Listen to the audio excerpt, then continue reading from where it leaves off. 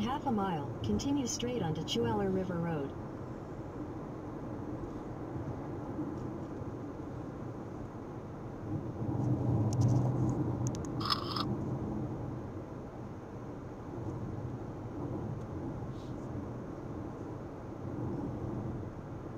Continue straight onto Chualar River Road.